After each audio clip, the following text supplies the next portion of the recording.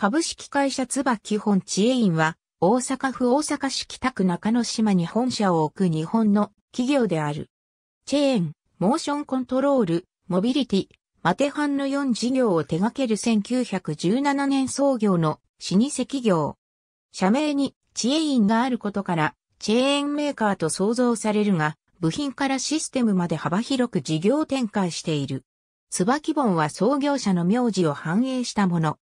産業用チェーンでは世界シェア1位を誇り、動力電動用、搬送用など多種多様に幅広い用途で使われるチェーンを製造。動力あるところ椿ありと言われている。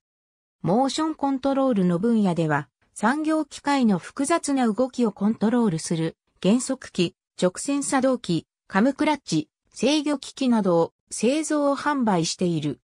自動車エンジン用、タイミングチェーンシステムでも世界シェア1位でトヨタ自動車、日産自動車、スズキなど国内メーカーはもちろん北米や欧州、アジアなど世界中の自動車メーカーに部品を供給。国産車の約70%に椿本製のタイミングチェーンシステムが搭載されている。最近では電気自動車や次世代エコカー向けの部品も開発、販売している。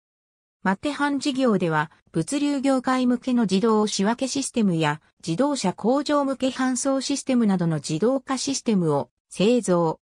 コロナ禍、ライフサイエンス分野の技術を活用して、PCR 検査自動化装置を開発した。京都府京田辺市及び、埼玉県飯能市、京都府長岡京市、兵庫県加西市、岡山県津山市に工場がある。グループ全体で世界26の国と地域に79カ所に及ぶ製造販売拠点を持っている。米国から16社、欧州から19社、アジアオセアニア44社。